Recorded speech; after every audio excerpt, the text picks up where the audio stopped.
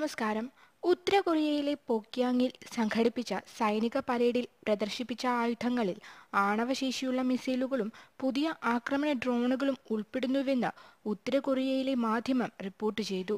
കൊറിയയിലെ പരേഡിൽ Kim Jong ഉന്നും റഷ്യയിൽ നിന്നുള്ള പ്രതിനിധികളും പങ്കെടുത്തിരുന്നു. കൊറിയൻ യുദ്ധം അവസാനിച്ചതിന്റെ എഴുപതാം വാർഷികത്തിന്റെ സ്മരണയ്ക്കായി വ്യാഴാഴ്ച രാത്രിയാണ് പരേഡ് നടന്നത്. റഷ്യൻ പ്രതിരോധ മന്ത്രി സെർജി ഷോയ്ഗു ഉൾപ്പെടെയുള്ള പ്രതിനിധികളാണ് സൈനിക പരേഡിൽ ഉണ്ടായിരുന്നത്.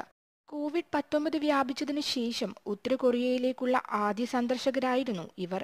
എന്നാൽ യു എൻ സെക്യൂരിറ്റി കൗൺസിൽ നിരോധിച്ച നോർത്ത് ആണവ മിസൈലുകളുടെ പ്രകടനമാണ് കൊറിയ നടത്തിയത്.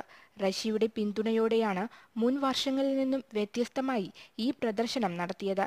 പരേഡിൽ ഉത്തര കൊറിയയുടെ ഏറ്റവും പുതിയ ഹ്വാസോങ് സെവന്റീനും ഹ്വാസോങ് എയ്റ്റീൻ എന്നീ ഭൂഖണ്ഡാന്തര ബാലിസ്റ്റിക് മിസൈലുകളും പുതിയ ആക്രമണവും ചാര ഡ്രോണുകൾ ഉപയോഗിച്ചുള്ള ഫ്ലൈ ഓവർ എന്നിവ പരേഡിൽ ഉൾപ്പെടുത്തിയെന്ന് അന്താരാഷ്ട്ര മാധ്യമം റിപ്പോർട്ട് ചെയ്തു.